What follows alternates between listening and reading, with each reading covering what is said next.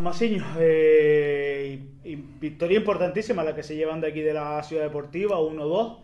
¿Qué resumen haces del partido? Bueno, primero yo creo que es importante esta victoria porque venimos de, empatar en casa y sabíamos que lo habíamos hecho muy bien con el mensajero, pero no habíamos eh, finalizado con acierto. Entonces, bueno, eh, sabíamos que, que Lanzarote se había puesto por delante, que está entre en, los puestos de privilegio, nosotros estamos fuera y sabíamos que si nos ganaban Lanzarote nos sacaban seis puntos de ventaja. ¿no?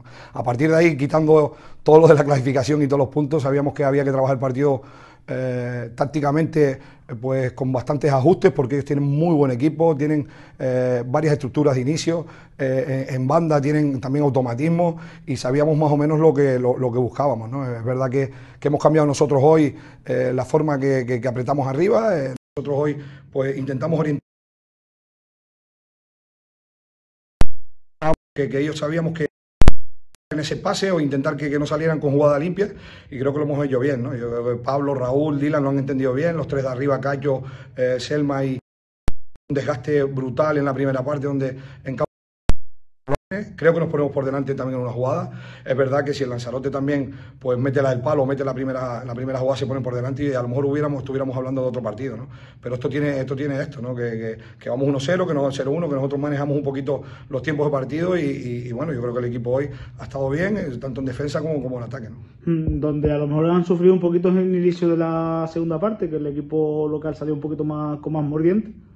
Sí, es normal que, nosotros vamos 0-1 y el Lanzarote en casa sabemos aquí cómo, cómo aprieta, ¿no? Aquí es muy difícil ganarle al Lanzarote, yo siempre, siempre lo he dicho por, por, cómo. Mateo tiene eh, pues, bastante estructurado el equipo, tiene buenos futbolistas, saben a lo que juegan y como equipo a mí me ha gustado. Yo siempre he dicho que la Ciudad Deportiva fue uno de los equipos que más me gustó en la primera vuelta y, con ese dato pues nosotros vimos aquí hacer nuestro partido. Nosotros, verdad, que, que, somos un equipo que corre, que trabaja y aparte pues tenemos talento y ese, ese manejo de balón arriba en zona de finalización, pues eh, hoy hemos acertado. Eh, hemos tenido partidos que hemos creado eh, seis, siete ocasiones y no hemos acertado. Entonces, bueno, yo creo que darle a felicidad a los chicos porque se han desgastado y tres puntos importantes para nosotros. Mm. Y la importancia de que encajan el empate y prácticamente a los dos minutos consiguen el, el 1-2, que no permiten que el equipo local se venga arriba, que, que ese gol los meta de nuevo arriba. Ya lo hablamos en el descanso y fue uno de los ajustes que le comentamos a los futbolistas, ¿no? que si nos empataran, que no se vinieran abajo, porque sabíamos que el Lanzarote iba a dar un pasito adelante para marcarnos el segundo y que iban a haber espacio a las espaldas. ¿no? Y, eso lo entendieron ellos, que, la verdad que es difícil que el, Lanzarote te empate y, que no te haga el segundo aquí, solo con el empuje, la gente, la afición, un campo grande donde también nosotros eh, sabemos que, aquí pues, vamos a tener espacio. Nosotros casi todos los cambios han sido de ataque y, yo creo que eso nos ha dado también. Hemos quitado a Dylan y hemos ajustado con Light por dentro. Eh, después hemos metido a la San que nos dio profundidad, hemos metido a gente en el campo que, nos da ese espacio, esa verticalidad. Entonces, bueno, eh, lo hemos entendido bien. Al final hemos ajustado con David por dentro y hemos quitado Raúl por, por, por el gemelo. Yo creo que el equipo pues, ha estado bastante bien. En todo momento los roles a nivel individual y colectivo saben lo que han hecho. Y bueno, los tres puntos, pues darle la felicidad. Pues te digo que, que, aquí es muy difícil ganar. Mm.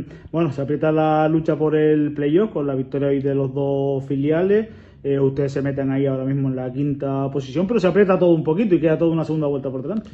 Sí, así lo comentaba Mateo, ¿no? que, esto va a estar bonito por, por, todo lo que se está dando. ¿no? Hay las auténticas plantillas que están preparadas para intentar, eh, económicamente, para intentar dar el salto a la segunda red, pues están arriba, yo creo que desde el principio. Y bueno, ahora nos hemos apuntado algunos, los filiales estamos ahí, yo creo que se va a estar, eh, va a haber nueve, diez equipos pendientes de esas cinco plazas. ¿no? Entonces vamos a ver qué pasa.